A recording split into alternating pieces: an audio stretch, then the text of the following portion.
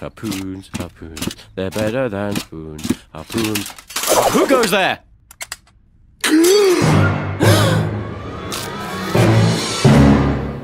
Hello, old friend.